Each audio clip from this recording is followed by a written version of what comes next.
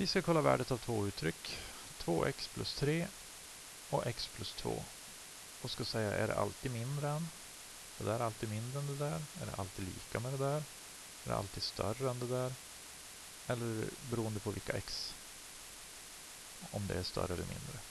Vi kan ju testa med en värdetabell. x, 2x plus 3, x plus 2. Eh, om vi testar lite olika tal. Eh, vi kan ju testa med 0. Nej, vi börjar med något annat förresten. Eh, om det här är ett stort minustal, säg minus 5.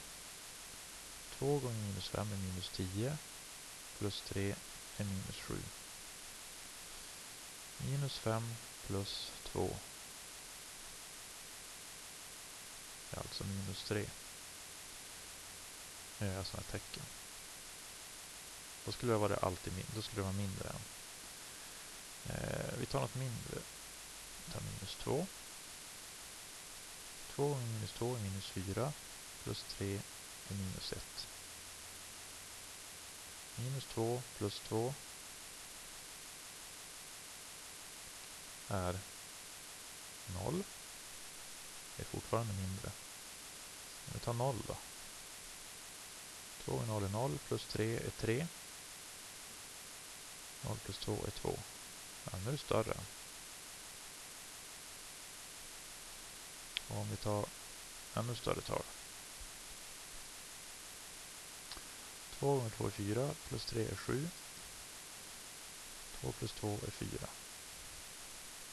Fortfarande större. Så redan här kan vi säga att för vissa x-värden är det större än och för andra är det mindre än.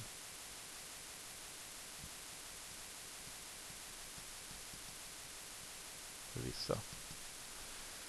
En annat man ska kunna göra här det är att sätta dem när är de lika varandra de här. 2x plus 3 ska vara lika med x plus 2. Lösa ekvationen. Minus x, vi tar minus x. x plus 3 är lika med 2. Minus 3, minus 3. x är lika med minus 1. Så vid minus 1, där är de lika med varandra. Och då är frågan, vad händer på olika sidor? Ja, det har vi testat här. Om x är mindre än minus 1, det vill säga ett större minustal, då kommer den att vara mindre än den. Är x däremot större än minus 1, till exempel 0, 1, ja, alla plustal, då kommer det vara större än det där. Så därför är det för vissa större än och för vissa mindre än.